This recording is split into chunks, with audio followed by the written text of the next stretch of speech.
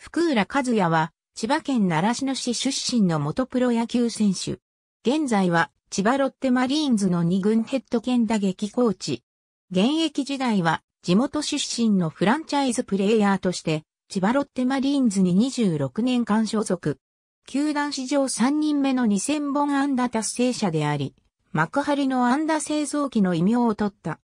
熊本県出身の父と千葉県生まれの母との間に、当時の東葛飾郡浦安町に生まれ、4歳の時に習志野市に転居した。習志野市立大久保東小学校1年の時に、父の影響で野球を始め、習志野市の野球チーム、あずまクラブに所属。この頃はテレビで巨人の試合をよく見ていて、篠塚和則や吉村貞明に注目していた。また、小学6年生の頃から習志野高校を志望し、プロ野球選手を夢見るようになったという。習志野市立第二中学校では、リトルリーグで一時期プレーしていた関係で、バスケ部に入部するが、数ヶ月後に野球部へ転部する。一年後には、エースとなり、三年春に市内大会で優勝を果たす。中学時代に同郷の井上義郎と投げ合ったこともある。奈良市の私立奈良市の高等学校では1年時からレギュラーになり、2年時からは4番に定着。高校通算20本塁打を記録した。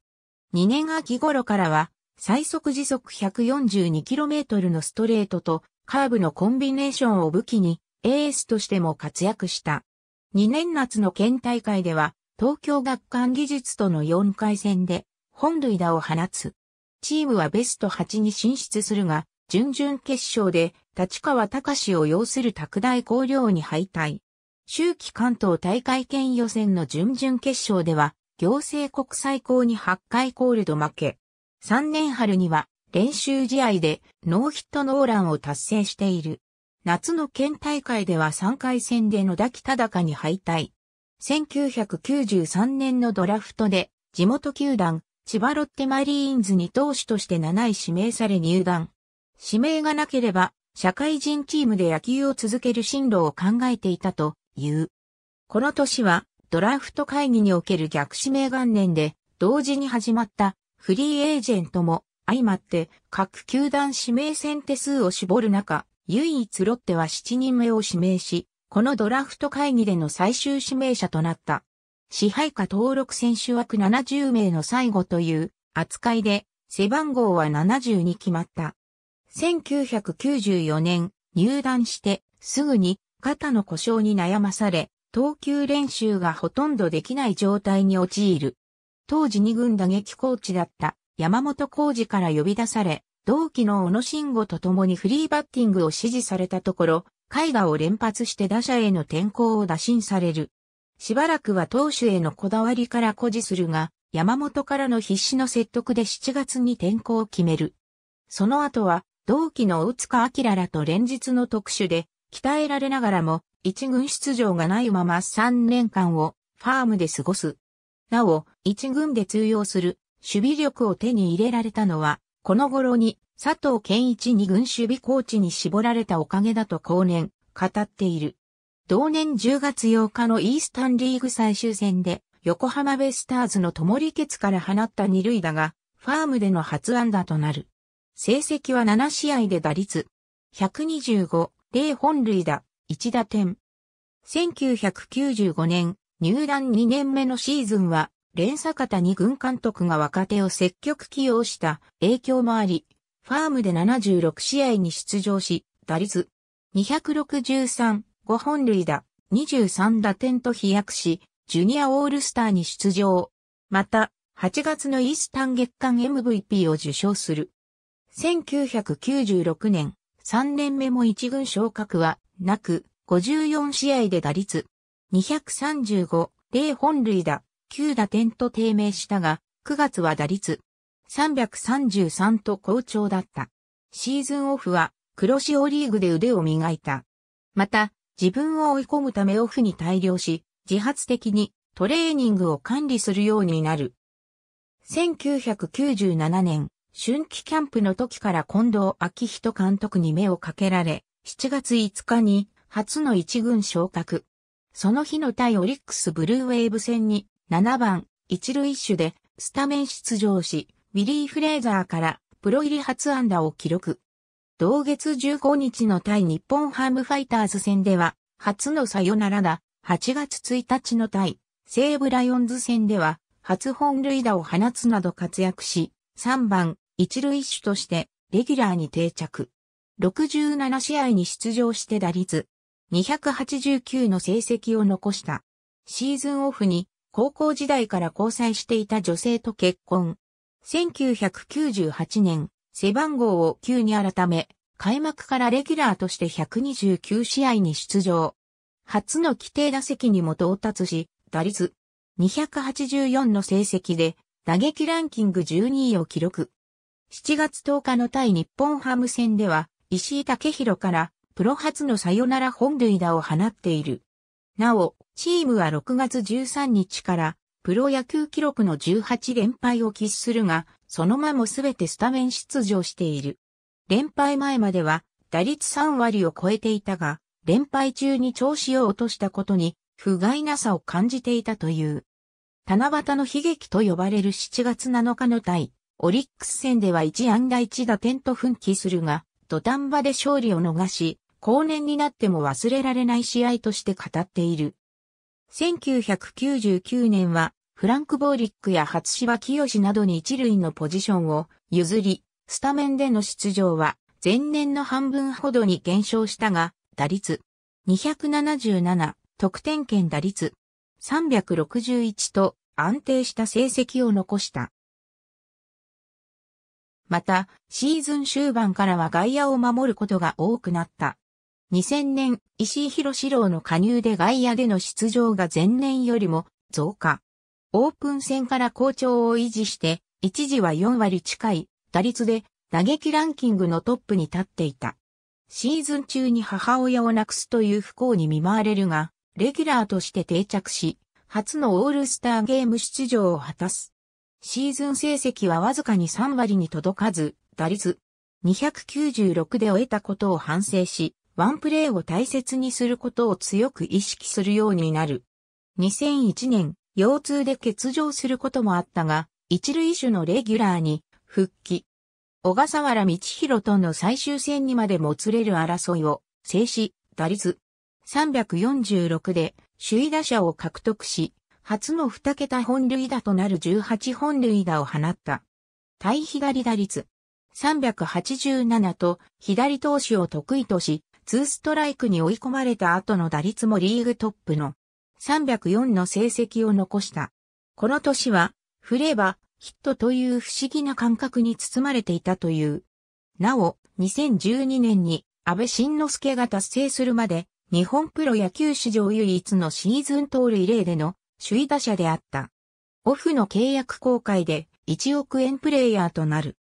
2002年、ストライクゾーンが変更された影響でバッティングを崩した上に厳しくなったマークでリーグ最多の17支球を喫するが2年連続で打率3割を記録。得点圏打率は247と前年より1割近く落としたが、2ストライク後の打率272はリーグトップであった。2003年初の全試合出場を達成し、いずれも自己最多となる172安打、21本塁打、76打点を記録。3年連続の打率3割、史上初の2年連続42塁打、シーズン2度の1試合5安打を達成し、10月5日の対西武ライオンズ戦では、サヨナラ2塁打を放ち、史上2人目となるシーズン52塁打を達成した。なお、シーズン172安打は2010年に西岡剛に更新されるまで、球団3位の記録であった。守備面では3年ぶりに外野を守る機会もあったが、一塁手部門で初のゴールデングラブ賞を獲得した。2004年、前年韓国で56本塁打を記録した一塁手の李昌陽が入団したが、この年も打率314.11本塁打の成績で一塁手のレギュラーを守った。両リーグ最多の42二塁打、自身の記録を更新する NPB 史上初の3年連続42塁打、8月20日の対福岡大英ホークス戦では通算1000本安打を達成。6月1日の同体戦では杉内俊也から初の満塁本塁打を放った。また、2度目となるオールスターゲームとシーズンオフに開催された日米野球にも出場した。2005年、故障もありやや低調なシーズンだったが、終盤の追い込みで5年連続の打率3割と3年連続の70打点を達成。本塁打は1桁の6本に終わったが、得点圏打率333、満塁打率556、ギヒはリーグトップの9本を記録した。また、5月12日の対阪神タイガース戦では、通算1000試合出場を達成している。ボビー・バレンタイン監督による日替わりのマリンガン打線において、唯一、福浦だけがシーズンを通して3番、一塁手に固定され、チームの31年ぶりのリーグ優勝と日本一に貢献。阪神タイガースとの日本シリーズ第3戦では、佐治木原正史からシリーズ史上17本目となる満塁本塁打を放った。なお、優勝したアジアシリーズでは腰痛のため選手登録はされなかった。3度目のオールスターゲーム出場と2度目のゴールデングラブ賞受賞を果たす。2006年3.4月度の成績がリーグトップの43安打、打率422と好調で初の月間 MVP を受賞。入団13年目での初受賞はリーグ史上2番目に遅い記録であった。7月に子宮により左手を骨折し、約1ヶ月間の戦線離脱もあったが、6年連続の打率3割を達成。成績は打率312、4本塁打。なお、前述の理由により出場が決まっていたオールスターゲームは辞退。シーズンオフの日米野球には2大会連続の出場となった。同年 FA 権を取得。2007年開幕直後に右脇腹のあばら骨を骨折して1ヶ月間離脱。復帰後は5月まで打率3割を維持していたが、怪我の影響で打率を徐々に落とし、打率258.4本塁打という一軍では、自己最低の成績に終わり、規定打席にわずか1打席届かなかった。前年まで左投手に対して3割近く打っていたが、この年は打率181に終わった。一方、得点圏打率は339の成績を残し、打点は前年より多い57を記録。8月3日の対日本ハム戦では、史上46人目の通算302塁打を達成する。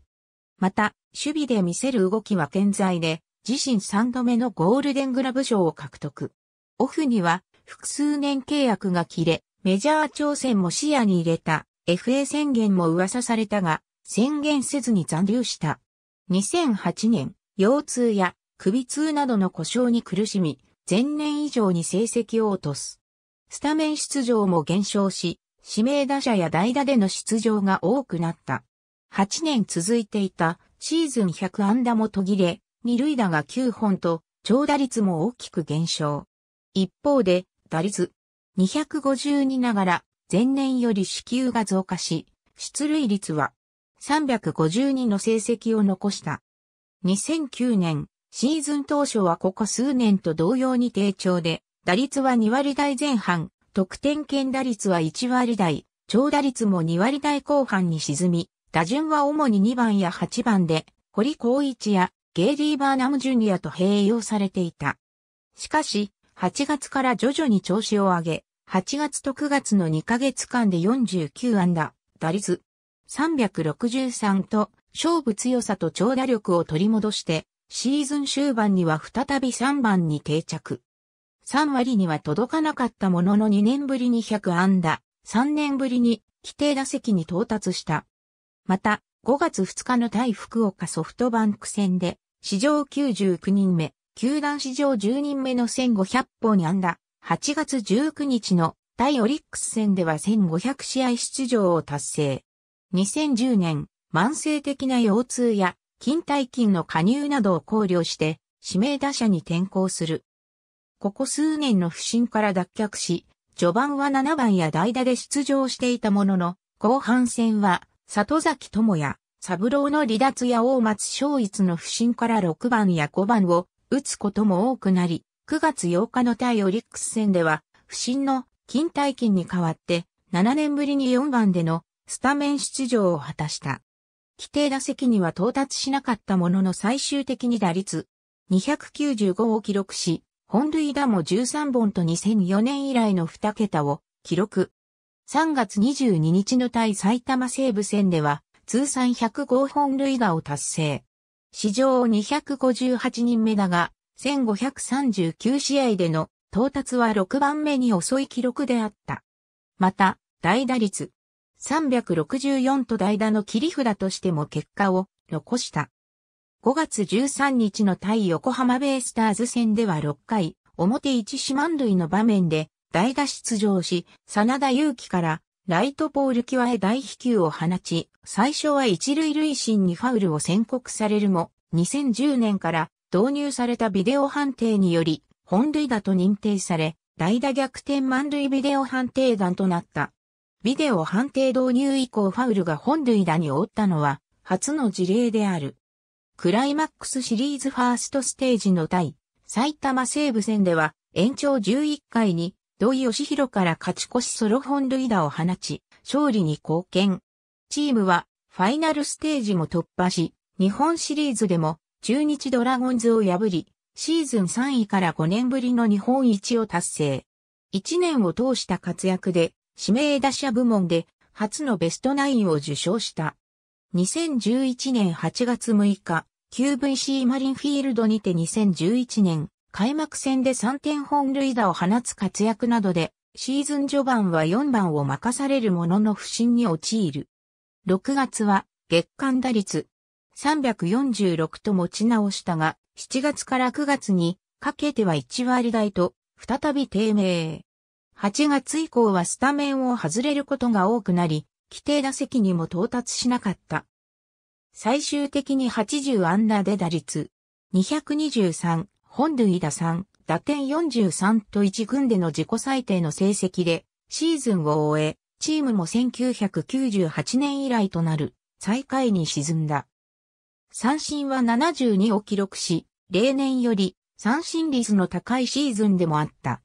なお、4月13日の対東北楽天ゴールデンイーグルス戦で史上30人目の通算352塁打を達成。1654試合での達成は、歴代3位のスピード記録である。2012年、春先は、スタメン出場も多く、4試合連続打点の活躍で一時は、チームトップの打点を稼いでいたが、交流戦以後は、試合終盤における代打での出場が多くなり、45安打で打率、250、本塁打数は一軍に定着してから初めてレインに終わる。一方、代打では5打席連続安打を記録するなど勝負強い。打撃を見せ、7月18日の大東北楽天戦で代打サヨナラギヒ、8月29日の同体戦では9回裏に代打で同点打を放つなど、この年の代打成績は打率。424打点8の成績を残した。2013年は2年ぶりに4番に入るなど、シーズン序盤は一塁手でスタメン出場することもあったが、井口忠人の一塁へのコンバートや GG 佐藤、クレイグ・ブラゼルの加入により、前年を下回る78試合の出場にとどまった。本塁打は0本、打率、打点も前年を下回ったが、9月は月間打率429と好調で、9月30日の対北海道日本ハム戦では、球団最多11度目のサヨナラ打となる疑秘を放ち、試合を決めた。また、8月2日の対オリックス戦で放った安打で、通算1828安打となり、堀光一の安打数を抜いて、球団歴代3位となった。2014年は、1997年以来17年ぶりに開幕を2軍で迎えた。6月に1軍登録されると、自己最多となる4打席連続的自打を放つなど、7月は打率371と好調を維持。8月以降は低迷し、出場試合数及び安打数はそれぞれ43試合、26安打と自己最小であったが、打率283、大打率474の成績を残した。9月9日の対埼玉西武戦では延長11回に代打、サヨナラ二塁打を放ち試合を決める。自身の持つ球団最多記録を更新する通算12本目のサヨナラ打であり、リーグの通算記録では4位タイとなる。2015年、シーズン初スタメンだった4月9日の対、オリックス戦で5年ぶりとなる1試合に本塁打を放つが、4月下旬から尿管結石のため一時登録を抹消される。5月に復帰後は、スタメン出場もしばしばあり、最終的に73試合に出場で47、安打、打率、272の成績を残した。6月15日の対東京ヤクルトスワローズ戦で、史上48人目、球団記録では4人目の通算2000試合出場を達成した。また、クライマックスシリーズファーストステージの対北海道、日本ハム戦では、スタメン出場した2試合で7打数4安打の成績を残すが、ファイナルステージでは無安打に終わった。2016年、春季キャンプで左足首を痛めた影響で一軍、昇格は7月13日と出遅れるが、その日の対福岡ソフトバンク戦での出場で、本拠地、QVC マリンフィールドでの通算1000試合出場となった。その後は、8月19日に左背筋痛で一時登録を抹消されるなどして、一軍では自己最小となる36試合の出場で20安打、7打点に終わる。2017年、2年連続で開幕一軍からは外れたものの4月12日に一軍昇格。一塁手を務めた選手の不振や負傷離脱などもあり、一塁手としての出場機会が増えた。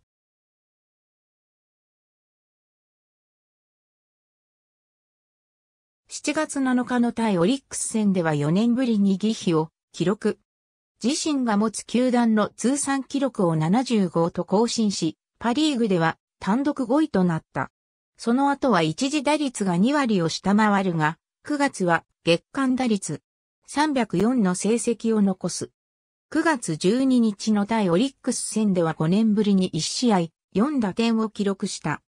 また、同日に2018年シーズンも現役続行することが確実になり、球団幹部より通算2000安打達成に向けて後押しする方針が明言された。10月19日には2018年より選手権打撃コーチとなることが発表された。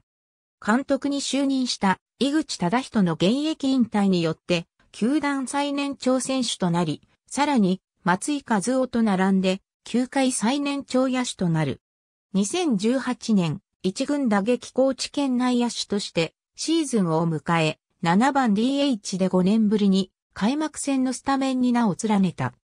42歳3ヶ月での開幕スタメンは、1978年の野村克也に次ぐ球団の年長記録となる。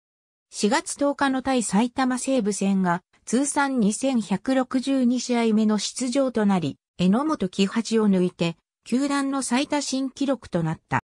5月10日に鳥越祐介ヘッド兼内野守備、走塁コーチのヘッドコーチ選任により、小坂誠二軍内野守備、走塁コーチが1軍に昇格。1軍ベンチ入りコーチ8枠が埋まるため、コーチ登録を抹消して、選手選任となった。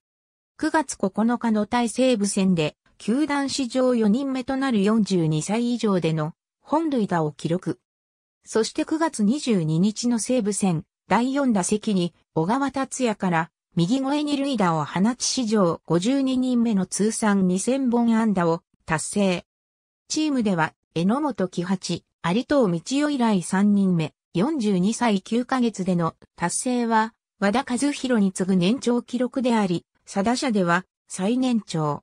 投手登録を経験した選手の達成は史上5人目、ドラフト7位の達成者は、福本豊に次いで2人目、最終指名選手では、初の快挙。一軍初出場が4年目以降の選手が達成したのも初めてである。また、元号、平成では、最後の2000本安打達成者そして迷宮会入りとなった。試合後の会見では、来季の現役続行を宣言し、その後は首痛の治療を優先して登録を抹消された。10月8日の試合前には、迷宮会の入会セレモニーが開かれ、連盟表彰、奈良市の市民栄誉賞、迷宮会ブレザーが授与された。最終的には82試合に出場し打率210、打点11、オプス505という成績を残した。2019年は上原浩二と並んで球界最年長選手となり、選手兼任で2軍打撃コーチに就任するが、1月24日に今シーズン限りでの現役引退を表明した。球団からコーチに重きを置いてと言われた時点で引退の気持ちが強まったと言い、若手をしっかりと指導して、チームが強くなって優勝できるように頑張っていきたいとコメントし、球団は背番号9を準永久欠番とすることを決めた。なお、上原はシーズン途中の5月20日に現役を引退し、以後は単独で球界最年長選手となった。シーズン中はほとんどコーチ業に専念し、選手としては2軍で代打で起用されたり、4月20日に開催された福浦和也デーなどのイベントに姿を見せた。5月11日のイースタンリーグ、奈良市の市秋津球場の試合では、奈良市の高校時代の野球部同期と始球式に登板し、6月14日のオールフォー千葉習志野市の試合では、同校野球部の元監督、石井義弘による始球式の打席に立った。最終的には2軍で16試合に出場し打率267、打点4、オプス694という成績を残した。9月23日、引退試合となる対日本ハム戦に合わせて、今季初の1軍昇格。福浦自身は A クラス争いを考慮して出場を誇示するが、井口監督の計らいで7番 DH で先発出場した。当日は監督、コーチ、選手全員が背番号9を背負い、ストッキングも福浦と同じオールドスタイルで臨んだ。また、球場最寄りの海浜幕張駅職員や京成バス運転手らもユニフォームを着用したほか、駅内やバス車内での応援歌放送、駅電光掲示板へのメッセージ表示、近隣ホテルでのイルミネーションなど、球団史上前例のない取り組みが行われた。試合前の始球式では、福浦の次男がマウンドに上がり、福浦が打席に立った。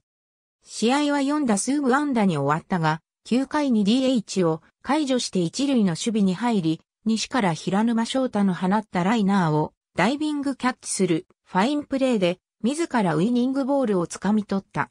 なお、2000安打ちょうどで現役を引退するのは史上初めてである。試合後の引退セレモニーでは、松井和夫、高橋義信、上原浩二など同学年の人物をはじめ、ベニーヤグバヤに、今江年少、西岡剛、三郎など福浦とゆかりのある人物からビデオメッセージが流された。福浦は引退の挨拶として応援が勇気となり、体を動かし続けることができましたとファンに感謝を述べ、幸せな野球人生でしたと語った。その後は、初芝清らから花束を受け取り、紙吹雪が舞う中を長男と次男を伴って、場内を一周。最後はチームメイトからの胴上げで、背番号と同じ9回中を待った。2020年シーズンから2軍ヘッド兼打撃コーチに就任。背番号は入団当初と同じ70となった。安定した縦軌道のスイングから広角にライナーで弾き返す打撃が特徴。ボールを捉える技術に長け、元監督の山本浩二からは、バッティングに関しては、天才的なセンスの持ち主で、バットコントロールは天性のものだと評された。また、現監督の井口忠人や奈良市の校の先輩、掛布正幸は、福浦の特筆すべき点として、バッティングの柔らかさを上げ、タイミングを崩されても対応できる能力を高く評価している。左投手の外寄りの球を苦手としていたが、首位打者を獲得した2001年に打率408を記録して克服したことで飛躍を果たし、同年から6年連続で打率3割以上を記録。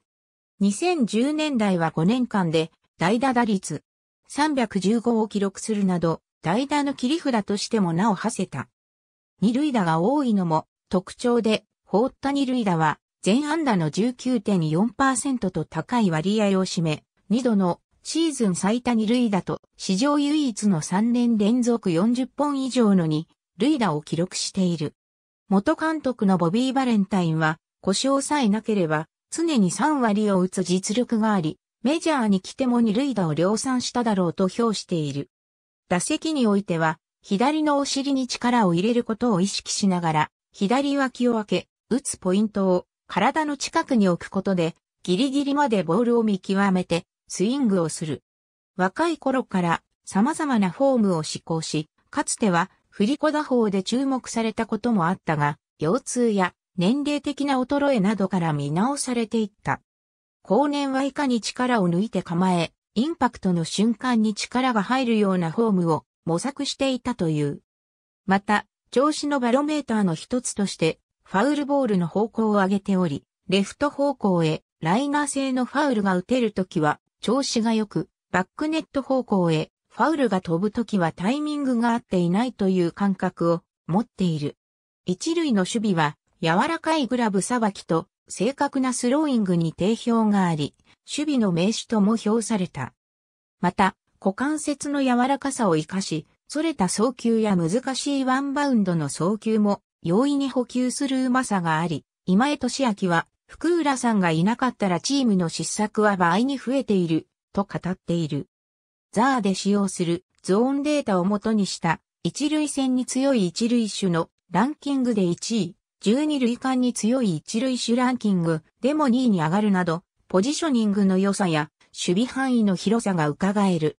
また、レンジファクターは2000年代の上位5欠のうち3つを福浦が占めるなど、例年高い数値を記録した。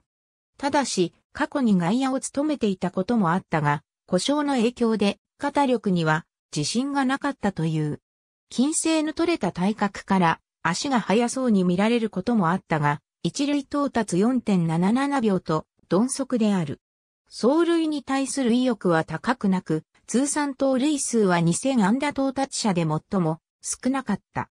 2000年代の主な応援歌は、俺らは叫ぶと歌う楽曲で、原曲は日本のバンド、アストロジェットの浜辺以降を元にした韓国の歌謡曲。作曲はかつてロッテの応援団に所属し、後年は楽天イーグルスのコンテンツ部に所属した神俊夫。臨床部分のメロディーを面白いと感じて採用したという。その後、2011年から引退する2019年までは、俺たちの福浦と歌う楽曲となった。作曲は同じく、神俊夫で、前奏を壮大なイメージで作り、歌詞には、長い間、現役を続けてほしいという気持ちを込めたという。この応援歌は、福浦の人気と相まって非常に盛り上がり、他球団のファンからも評判が良かった。また、母校、習志野高校のチャンステーマ、レッツゴー習志野も、福浦の応援歌として、本拠地の開幕戦などで使用されており、自身も思い入れがあり、力になると述べている。2018年6月14日に ZOZO マリンスタジアムで行われたオール4千葉デーの試合では、美爆音と称される、同校吹奏楽部の演奏とロッテの応援団がコラボ応援するという前例のない企画が実現。ファン、選手、メディアなどから大きな反響を呼び、福浦も後輩たちの素晴らしい応援にすごく力をもらったと感想を述べた。ありがとうございます。